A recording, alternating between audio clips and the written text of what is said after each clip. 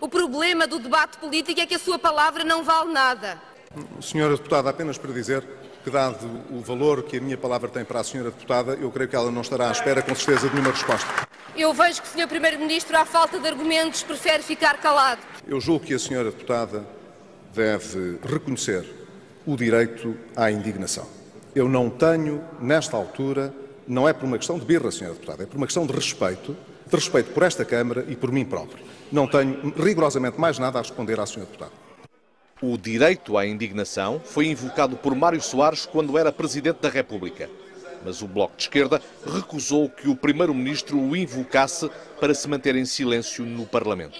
O Bloco não aceitou os argumentos e retirou todos os deputados do hemiciclo.